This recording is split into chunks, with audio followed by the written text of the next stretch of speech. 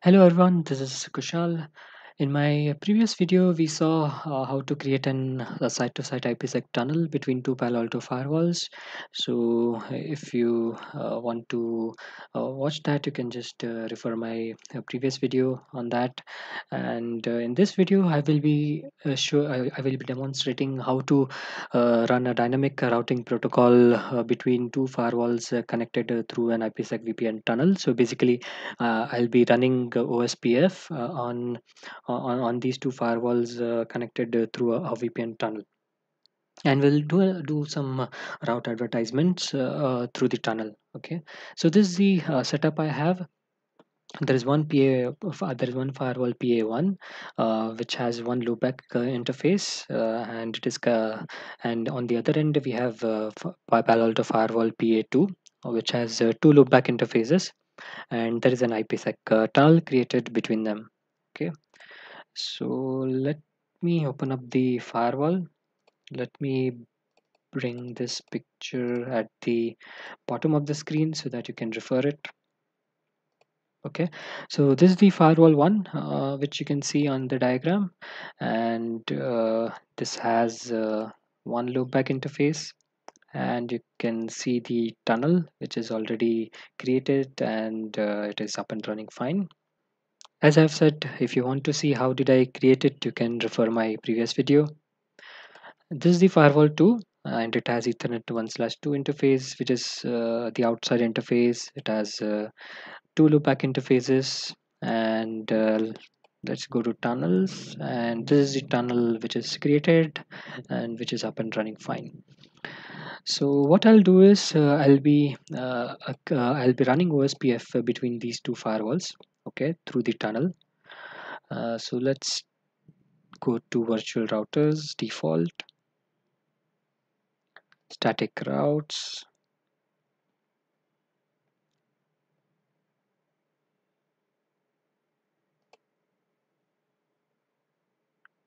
so currently my connectivity is through static routes. Now what i want to do is i don't uh, want to create static routes. I just want to advertise the subnets the local subnets through OSPF okay so i'll just delete them. Go to OSPF enable it give it a router id ideally it is the any inter, any inter, interface ip on the local firewall. You give it give it as router id let's create one area id and uh, let me give it area 0 okay and the in, in the interface section i will be enabling ospf on the tunnel interface okay? So this is the tunnel which which is uh, associated with that uh, ipsec vpn so I, i'll select that. Uh, you can also select uh, authorize auth authentication profile if you want to authenticate the peers okay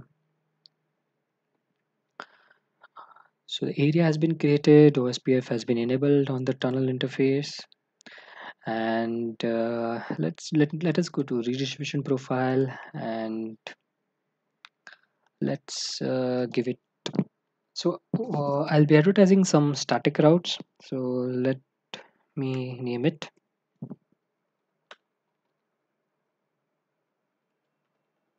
As a static give it priority one and uh, just click on static okay and click on redistribute. So what this will do is it will redistribute, all static routes on the local firewall to the other end okay? If that is not, not what you want you can select specific destinations uh, uh, and uh, to uh, to advertise and it will only advertise those specific subnets okay? Uh, now let's create some static routes also for demonstration. So let's say 11.0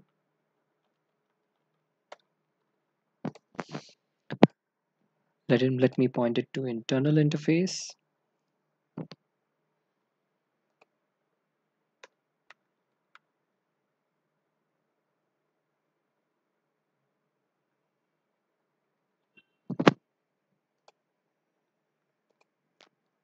So I want to advertise this static route uh, on the peer end okay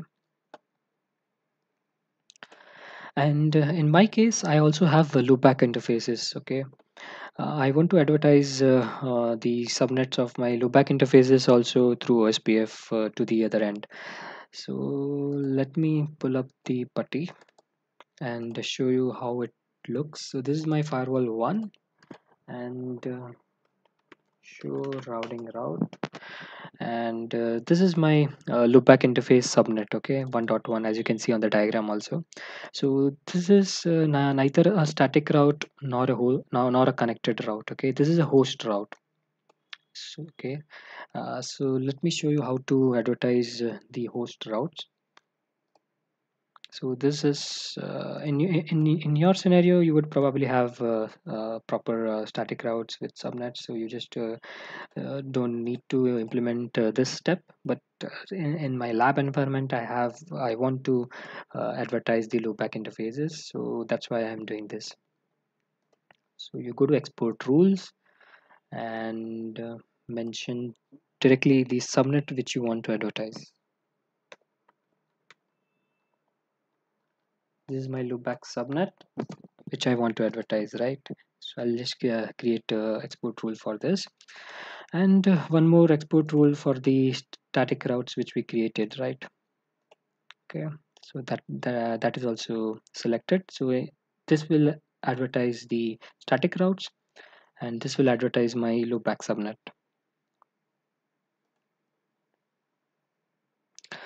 and uh, since in this setup I uh, I was not uh, I, I didn't do OSPF while I configured the VPN tunnel. So this is one important step you need to uh, do. Uh, you go to the tunnel interface which you have created and you need to give an IP address uh, on the tunnel interface. Ideally, if if you if you're not uh, running a dynamic protocol, dynamic routing protocol, or uh, or not doing any NATing on the tunnel, you don't need uh, IPv4 address. But uh, since we are doing OSPF, you need to give an IP address on the tunnel interface. So let me give it a free IP.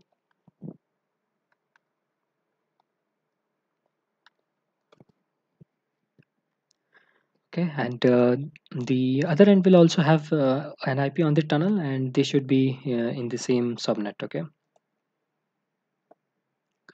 So the rest of the configurations are already in place. I, I already have uh, security policies to allow that traffic. If you want you can have a look at it which i created in in, in my previous video.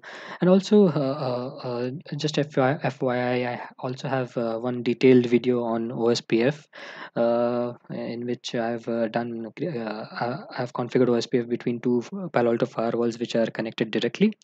So that is a detailed video if you want to have a look at. Okay. So just let me commit it. We are almost done on this firewall.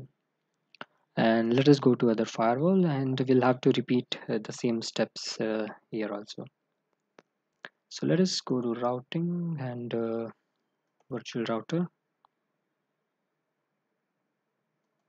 Static routes. And let me delete this one because I don't need that. Redistribution profile. So let me configure a profile and redistribute static routes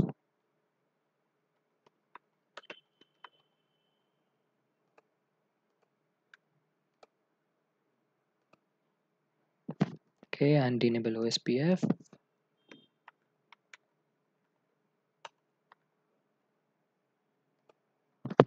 I will have to give the same area uh, ID which I configured on the other end and select the tunnel interface.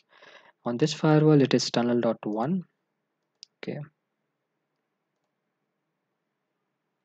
and in the export rules I will advertise uh, first of all the uh, loopback interface subnets.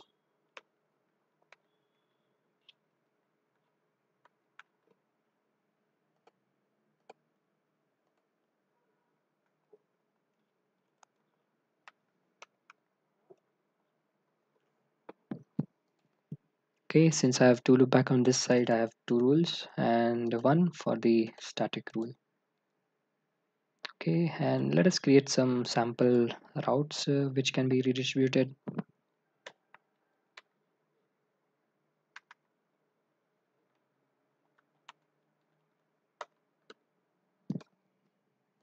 Interface let's see internal. Okay this is my gateway.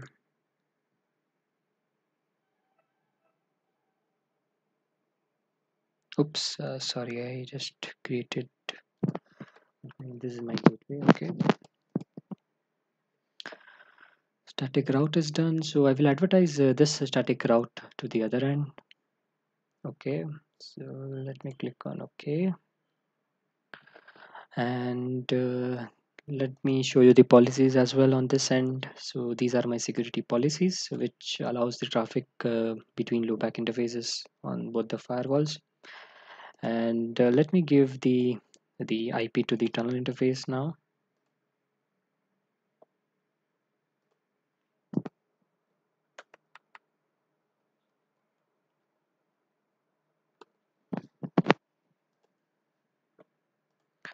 Okay and let me commit it.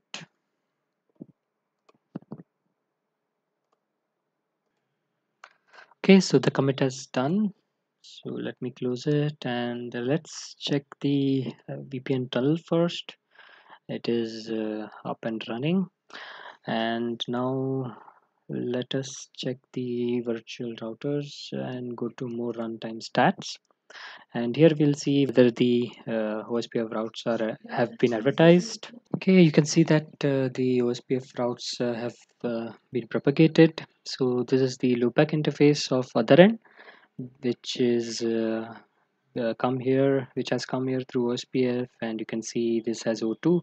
O2 means OSPF external type 2, and the interface it shows correctly as tunnel dot one, and this is the static route which we created on the other end which has uh, also been advertised here.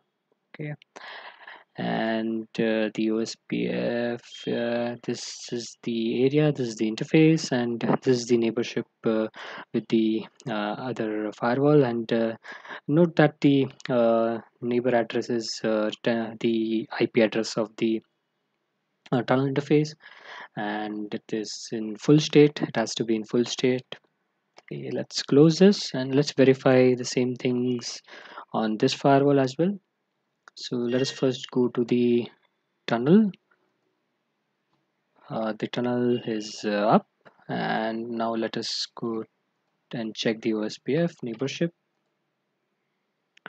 So in here also there is a route. Uh, this is the loopback interface of the other end and it is going through the tunnel lot 2 which is correct this is the loopback in second loopback interface of the other end and this is the static route which we created on the other end right? So all the routes uh, have been uh, come properly as have been advertised properly.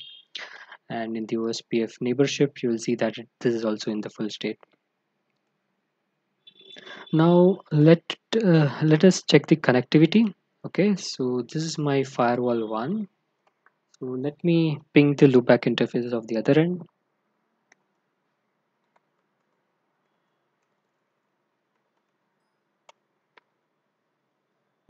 ping from local loopback to the other loopback. Yep, it's pingable. Let's check the other IP also. Yep, it's pingable. So without adding any static routes uh, for uh, these two subnets, right, it is able to ping to the other side. Now let's check the connectivity on the second firewall also. This is my firewall 2 ping source from this local local loopback to yep it's pingable. Let's check from the other interface also. And yep this is also pingable. So yes uh, connectivity is fine. Everything is working good so that's it guys. Uh, so this is how you create uh, uh the dynamic routing protocol on uh, on a VPN tunnel and advertise uh, static routes as well as uh, other kind of routes like loopback or directly connected routes. And do have a, a look, look, at my detailed OSPF video if you want to see all the features which I've demonstrated there. And in this video that's it for now Uh, I hope it was uh, useful and uh, thank you for watching